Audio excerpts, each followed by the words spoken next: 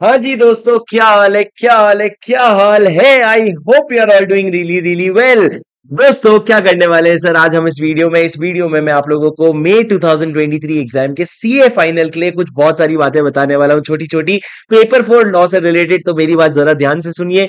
Sorry ये video लाने में मैंने काफ़ी लेट कर दिया, पर मेरे को एमटीपी टू का बहुत समय से इंतज़ार था और एमटीपी टू आने के बाद मैं आज ही ये वीडियो बना पाया। तो मैंने तुरंत ये बना लिया। आप लोगों के लिए मेरी बात ध्यान से सुनना।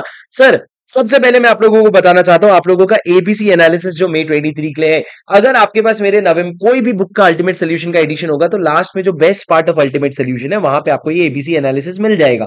अगर आपके पास मेरी बुक नहीं है तो आप इसको नोट कर सकते हैं, या फिर आप अपने किसी भी बुक के इंडेक्स में ये मार्क कर सकते हैं। इसमें भी मैं आपको काफ़ी चेंजेस करवाने वाला हूँ, जो एमटीपी वन और टू के बेसिस पे समझ आया है। दोस्तों, बिना किसी डाउट के तीन चैप्टर तो आपका चैप्टर तीन चैप्टर तो बहुत इंपॉर्टेंट होते हैं और ये तीनों चैप्टर कौन से हैं? डायरेक्टर्स के चैप्टर हैं।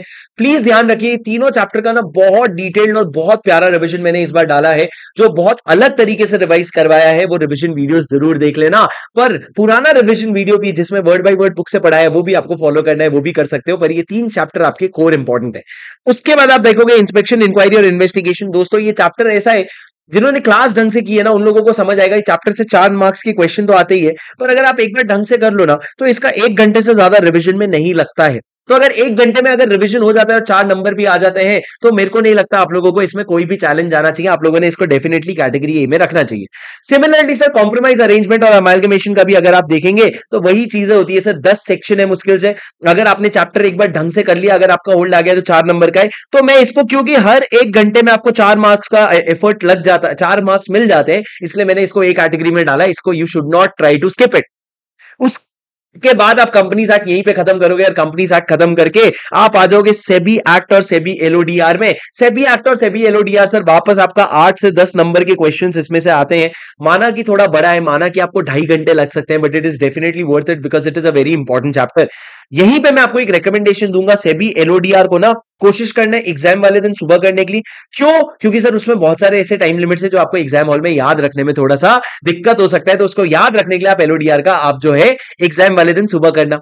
उसके बाद सर, अगर आप देखोगे prevention of money laundering act बहुत इंपॉर्टेंट है, क्योंकि ये नौ नंबर का आ रहा है पिछले काफ़ी समय से। It is coming for nine marks और आपका सिमिलरली एफसीआरए सर, देखो एफसीआरए तो अब तीन मार्क का आने लग गया। पर क्योंकि एफसीआरए में अमेंडमेंट है इस बार। अमेंडमेंट दो ही है दोस्तों, याद करो। एक तो वो दस लाख वाला अमेंडमेंट है जो एक लाख का दस लाख हो गया एफ़ सी वन फॉर्म तीन महीने वाला, देख लेना, तुम रिविजन वीडियो देख लेना। एफ़ सी आर ए का भी वीडियो डाला है तो एफ़ सी आर ए वाला अमेंडमेंट देख लेना, और एफ़ सी आर ए का पूरा चैप्टर पढ़ लेना, बहुत आसानी से हो जाएगा, और आईबीसी ज़रूर कर लेना। सर, ये सारे आपके कैटेगरी ए चैप्टर है। सर, क्या कैटेगरी ए चैप्टर का मतलब ये होता है, सबसे पहले खत्म कर लू? ना कैटेगरी ए चैप्टर का मतलब ये होता है, हम कुछ भी नहीं छोड़ेंगे, हम एकदम एकदम शिद्दत से पढ़ाई करेंगे, और उसमें कोई भी ऐसा टॉपिक नहीं होगा, जो एग्ज़ाम में अगर आ जाए तो हमारी बैंड बजाएगा, और हम इसको अपने क्रीम टाइम पे पढ़ेंगे। क्रीम टाइम कौन होता है? जो सुबह सुबह का समय होता है पाँच छह घंटा। एग्ज़ाम वाले दिन के भी सुबह तीन घंटे हो गए। उस दिन शायद आपने आईबीसी ले लिया। तो ये हम इसको क्रीम टाइम में पढ़ेंगे ताकि एग्ज़ाम में मेरे को इसका हंड्रेड परसेंट याद होना चाहिए।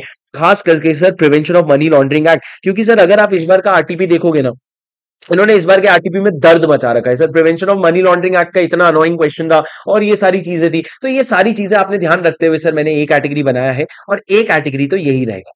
मैंने आपको छोटी छोटी चीज़ें बताई, अब हम आगे बढ़ेंगे थोड़ा सा। मेरी बात ध्यान से सुनना, सर। कैटेगरी बी में जो चैप्टर है, क्या वो लेस इंपॉर्टेंट है? नहीं, सर। ये बस सीक्वेंस में आप सेकंड प्रायोरिटी डाल सकते हो, बस इतना कहने की बात है। मतलब ये अगर आप थोड़े से नींद में पढ़ रहे हो, थोड़ा से कम एफिशिएंसी में पढ़ रहे हो, चीज़ें समझ आ जाएगी। या फिर इसका वेटेज भी एग्ज़ाम में कम होगा। सर, सबसे पहला prevention of operation and mismanagement बहुत छोटू सा चैप्टर है सर अगर आप इसमें 241 और 246 भी पढ़ोगे ना सॉरी 241 और 244 भी पढ़ोगे ना तो भी बहुत हो गया. प्रिवेंशन ऑफ़ ऑपरेशन मिसमैनेजमेंट का पिछले बार पिछले बार, देखो इसका ना चैप्टर का कैसा चलता है? ज़ीरो ज़ीरो चार मार्क का ज़ीरो ज़ीरो चार मार्क का ज़ीरो ज़ीरो चार मार्क का. सर इसमें नवंबर 22 में ये आया नहीं था. मे 23 में या तो नहीं आएगा या चार नंबर का आएगा, दो ही ऑप्शन हो सकता है सर पर अपन इतना इतना ज़्यादा एनालिसिस नहीं कर सकते सर छोटा सा चैप्टर है। फेमा जितना बड़ा चैप्टर होता तो शायद ये इमेजिन भी करते। पर इतने छोटे से चैप्टर को कर लेना sir priority registered value is a very important concept पूरे कॉन्सेप्ट इजी है, आपको काम आ जाएँगे। फॉरेन कंपनी का कॉन्सेप्ट भी बहुत इंपॉर्टेंट है सर ये भी आप लोगों ने कर लेना है, लेकिन कैटेगरी बी में। Removal of name of companies और कंपनीज़ ये तो सर बच्चों सी बात है। अगर तुम मेरे को बोलोगे तो ये सारी चीज़ तो मेरे को एक बार कमेंट पे बता देना। ये सारी चीज़ें मैं लाइन से आकर के ना तुम्हारे एग्ज़ाम के एक दिन पहले तुमको क्या करूँगा? रिविजन करवा ही दूँगा लाइव ताकि तुम्हारा डिटेल में रिविजन हो जाए छूटे भी नहीं। मतलब उसको ऐसा एक रिविजन रख लेंगे, वो चैप्टर जो तुम छोड़ के जाने वाले, ठीक है? उसके बाद सर गवर्नमेंट कंपनी वो दो मिनट का चैप्टर एनसीएलटी एनसीएलटी पाँच मिनट का चैप्टर सर मैं बोल रहा हूँ, ऐसे तुम समझ जाना, दो मिनट मतलब पंद्रह बीस मिनट का। सर मिसलेनियस प्रोविज़न जो है, Nidhi company dormant company compounding ये सारे चैप्टर्स आपको करने पड़ेंगे। फिर आर्बिट्रेशन भी करना है और फेमा भी करना है। सर आर्बिट्रेशन देखो रिलेटिवली काफ़ी ईजी है रिविजन वीडियो भी डला हुआ है आर्बिट्रेशन कर लोगे आप। फेमा की बात करते हैं सर थोड़ी सी।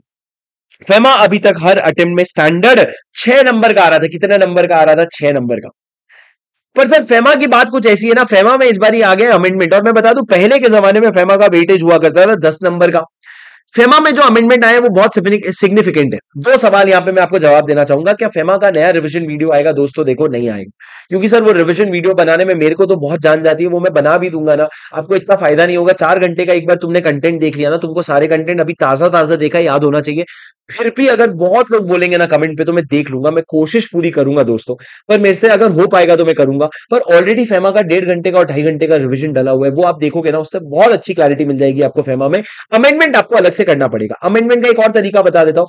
फ़र्स्ट लेक्चर खत्म होने का सेकंड लेक्चर में मैंने फ़र्स्ट लेक्चर का पूरी रिविजन करवाया वो पंद्रह मिनट मार्क कर लो ना, आपका काम हो जाएगा। तो सर रिविजन उस तरीके से भी हो सकता है आपका फेमा का। पहली बात होगी रिविजन की। दूसरी बात सर फेमा को ना, अगर आपने किया है आज तक फेमा में मेहनत, अभी तो समय बहुत कम बचा है, अभी मैं ये नहीं बोल सकता एक दिन फेमा को दो, पर अभी तक अगर फेमा में मेहनत की है ना तो ये मन में मान के चलना फेमा आठ नंबर का तो इस बार आ सकता है। सर मेरा गैस है मैं बहुत ज़्यादा गलत हो सकता हूँ इंस्टीट्यूट का टैगलाइन है expect the unexpected so we don't know but sir आठ नंबर का आ सकता है, और आठ नंबर आप हवा में छोड़ करके नहीं जा सकते, क्योंकि ज़रूरी नहीं है कि जो चैप्टर आप पढ़ के गए हो, उससे वो क्वेश्चन आ रहे हैं जो आपको आते हैं। तो सर जैसे कुछ चीज़ें फेमा में, आप अगर मेरे को वापस से कमेंट में बोलोगे तो एग्ज़ाम के पहले। अभी तो तुम्हारे लिए कोई रेलेवेंस नहीं है ये सब, पर एग्ज़ाम के पहले मैं आप लोगों को कुछ ऐसे इंपॉर्टेंट टॉपिक्स बता दूँगा कि फेमा में ये पढ़ लो, ये पढ़ लो, ये पढ़ लो। अब सर, जो मेरा डेढ़ घंटे का रिविजन है ना फेमा वाला, वो एक्चुअल में सिर्फ़ इंपॉर्टेंट टॉपिक्स का ही है, जहाँ पे मैंने अगर ईसीबी e पढ़ा रहा हूँ तो छोटी छोटी चीज़ों में नहीं घुसा, जो बड़ी बड़ी बातें ना वो हमने की है। तो वो डेढ़ घंटे का रिविजन इंपॉर्टेंट टॉपिक ये समझ लो, उतना तो फेमा आप लोगों ने कर लेना चाहिए और अमेंडमेंट कर लेना, सर। देखो, अब ना अमेंडमेंट का भरोसा नहीं है, पूरा आठ नंबर का अमेंडमेंट अमेंडमेंट में इतनी ताकत भी है, सर। इतना भारी अमेंडमेंट है, इतना जोरदार अमेंडमेंट है कि अमेंडमेंट में इतनी ताकत भी है कि उससे पूरा का पूरा चैप्टर पूरा का पूरा आठ नंबर आ सकता है। फेमा को बी कैटेगरी में सिर्फ़ इसी कारण से डाला है, क्यों? क्योंकि ये थोड़ा ना थोड़ा सा दर्द बन जाता है स्टूडेंट्स के लिए। बट अदरवाइज़ अगर आप देखोगे ना तो फेमा ए कैटेगरी में डिजर्व करते हैं मार्किंग के हिसाब से। और सर सी कैटेगरी में अगर आप देखोगे वाइंडिंग अप आते हैं। सर वाइंडिंग अप का बहुत सिंपल है। मैंने दो वीडियो डाला है, सर।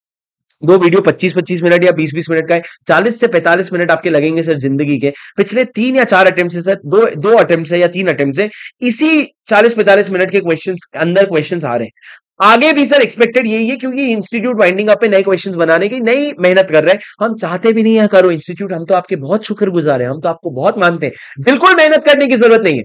और दूसरा सर कॉर्पोरेट सेक्रेटरियल प्रैक्टिस जो है अब पिछले अटेम्प्ट में सर इन्होंने आरटीपी एमटीपी में बहुत हवा बनाया था। एग्ज़ाम में नहीं पूछा। इस बार आ सकता है। पर सर आपको सीएसपी का एक बेसिक नॉलेज होना चाहिए कि ड्राफ्टिंग कैसे होता है। ये आपको नॉलेज तब होगा सर अगर आपने ढंग से ऑडिट वॉडिट किया होगा अपने आर्टिकलशिप में, वरना इतना कोई खास बात नहीं है, क्योंकि बनी बनी, सुनो ना बनी। कितना भी कर लो, कुछ ना कुछ तो छूटेगा ना बनी। तो पॉइंट ये सर ये सारी चीज़ें हैं। अब सर उसके बाद ये तो आपका एबीसी कैटेगरी हो गया, इसको आपने नोट कर लेना है। यहीं पे मैंने बाजू में आपका लास्ट डे टाइम भी लिखा है कि कितना समय आपको मिलेगा पढ़ने के लिए ये चैप्टर और ये सर ये बहुत सोच समझ के लिखा हुआ है। आप इसका दस मिनट कम ज़्यादा कर सकते हो, लेकिन इससे ज़्यादा सिग्निफिकेंटली वेरी मत करना। इतनी तो आपको एफिशिएंसी रखनी ही पड़ेगी, अगर आप ढंग से खत्म करना चाहते हो। चलो आप हर किसी का ना 1.2 मल्टीप्लाई कर लेना, पर 1.2 में खत्म कर देना। अब सर, इतने सारे क्वेश्चंस थोड़ी कर पाएँगे हम। इंपॉर्टेंट क्वेश्चन का लिस्ट भी दे दोगे क्या? देखो दोस्त, अगर मेरे को इंपॉर्टेंट क्वेश्चन का लिस्ट पता होती ना, कसम से एक एक लाख रुपए माँगता तुमको और देता ज़रूर। एक लाख रुपए लेकर के, पर है तो नहीं मेरे पास। मैं आपको वो क्वेश्चन बता सकता हूँ मेरे क्वेश्चन बैंक के, जो क्वेश्चन जो क्वेश्चन अगर आप नहीं करके जाओगे और एग्ज़ाम में आ गया ना you will have a tough time and that is our A category question sir मैं आपको ए कैटेगरी क्वेश्चन बता सकता हूँ और ए कैटेगरी क्वेश्चन की मैंने पूरी लिस्ट बना रखी है। डिस्क्रिप्शन पे आपको लिंक मिल जाएगा टेलीग्राम चैनल का। उस टेलीग्राम चैनल पे आपको ये लिंक मिलेगा। टेलीग्राम चैनल में आपको हर अपडेट मिलते रहेंगे। दो चीज़ आपने करना है अगर आपको ये सारी मेहनत पसंद आ रही है ना दोस्तों। वीडियो को लाइक ज़रूर करना ताकि मेरा मोटिवेशन बना रहे, तुम्हारे एग्ज़ाम तक हर कंटेंट देने का तुमको और एबीसी और आपको टेलीग्राम लिंक ज्वाइन कर लेना है। वहाँ पे बहुत कंटेंट मिलता रहेगा इंक्लूडिंग थोड़े थोड़े एमसीक्यूज भी। अब सर यहाँ पे देखो, यहाँ पे मैंने एबीसी एनालिसिस जो बना रखा है, ये नाटक हो रहा है इसका। एबीसी एनालिसिस देखोगे अगर आप तो ये मे 23 के लिए रिलेवेंट है और यहाँ पे नीचे देखो सर कंपनीज़ एक्ट का पूरा क्वेश्चन फ्रॉम क्वेश्चन बैंक है। कुछ एडेंडम रिसेंट क्वेश्चन अगर ऐड हुए तो वो भी है और पूरा ऐसे पूरा बना हुआ है। ये शीट आपको नीचे डिस्क्रिप्शन पे मिल जाएगा। नोट्स पढ़ना और सर, ये जो क्वेश्चन मैंने एबीसी मार्क कर रखे हैं, इसको रिफाइन करा है मैंने। पिछले अटेम्प्ट से मैंने रिफाइन किया थोड़े हल्के क्वेश्चन हटाए, थोड़े डिफ़िकल्ट क्वेश्चन ऐड किए हैं तो ये रिफाइंड वर्जन जो है, इसको रेफर कर लेना। मेरी बात समझे क्या? हाँ सर। और ये आप लोगों का इंपॉर्टेंट क्वेश्चन का लिस्ट है, जिसका लिंक आपको डिस्क्रिप्शन पे मिलेगा। और बहुत सारी छोटी छोटी चीज़ें जो आते रहेगी, आप लोगों को कुछ और चाहिए होगा तो मेरे को ज़रूर कमेंट पे बता देना। मैं मिलता हूँ आपसे अगले वीडियो में, तब तक पढ़ते रहो, बढ़ते रहो, कुछ भी लगे मेरे दोस्तों तो बस कमेंट में बता देना, आपके सारे कमेंट मुझ तक पहुँच रहे और इसी के साथ साथ अगर दो सेकेंड हो तो अगर कुछ आपको अच्छा लग रहा है हमारे चैनल के बारे में, हमारे कंटेंट के बारे में तो बता के ज़रूर जाना because your appreciation is my motivation do remember that ठीक है? वीडियो को लाइक ज़रूर कर देना। पढ़ते रहो। इस बार तुम्हारा अटेम्प्ट है। इस बार तुम बहुत अच्छे से स्कोर करोगे। ये मेरा वादा है। अपने दिल के लिए, अपने तसल्ली के लिए नीचे कमेंट में एक बार लिख करके जाओ I will give my two hundred percent in this attempt पहले वाले वीडियो में लिखा भी हो ना, फिर से लिख करके जाना, दिल से लिखना, आवाज़ आने देना I will give my two hundred percent in this attempt या फिर चाहिए तो ऐसा भी लिख सकते हो, क्या बात करते हो, जान दे देंगे। समझ रहे हो ना? चलो guys I hope you enjoy this video I hope this video was helpful I keep bringing more such content ये जो है आप लोगों को नोट कर लेना है यहाँ पे स्क्रीन से। मैं मिलता हूँ आपसे आपसे अगले वीडियो में। तब तक ले take care bye see you and prepare well this is C Shubham Singhal signing off